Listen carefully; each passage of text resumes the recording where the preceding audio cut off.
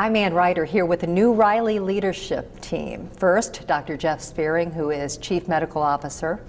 Second, we have Dr. Wade Clapp, who is Chairman of the Department of Pediatrics. And third, we have Dan Fink with us, who is President and CEO of Riley Hospital. Thank you for joining us. Thank you.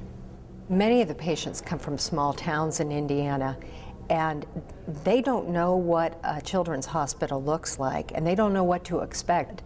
So when they walk through the doors at Riley, what do they see that helps them know this is a children's hospital and they don't have to be so afraid?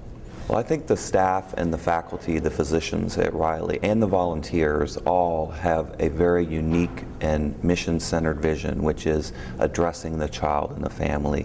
And you know, that's another thing that families and children notice when they come, even if they come to visit at Riley, is that we say hi to them in the hall, uh, we address them. We don't just address the adults in the building, we address the children.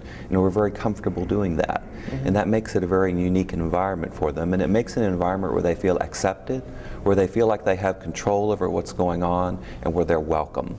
I think that's exactly what I mean. I think the staff are really the key to what makes Riley the special place that it is. You know, it's their ability to always be there for those families in the midst of everything that they go through. So all of the tragedies and all of the hope and the fear and everything that they have, it's those staff that are there that really makes Riley more than just a special place and a special building and a special medical staff. It's a team, just as you said, that's exactly right, that really makes it the place that it is.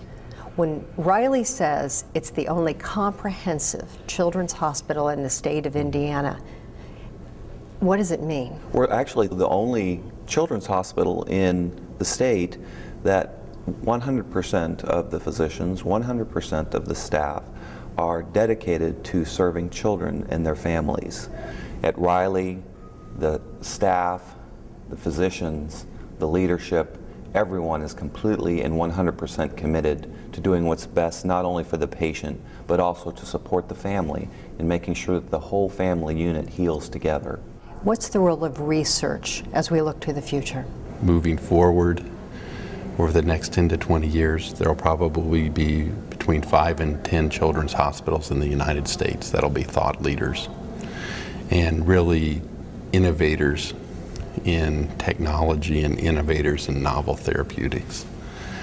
So I think it's, I think we're fortunate that we have the human capital, that we have the philanthropic organizations like the Riley Children's Foundation, and uh, the support of uh, Clarian Health and Indiana University School of Medicine, that we're one of the few places that are poised to be one of those five to ten children's hospitals.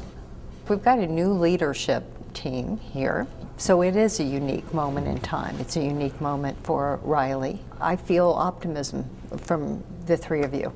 So um, where are we poised to go?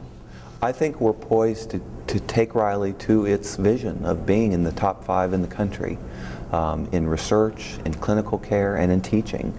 Um, the team we have put together and that we're continuing to put together are, are exceptional.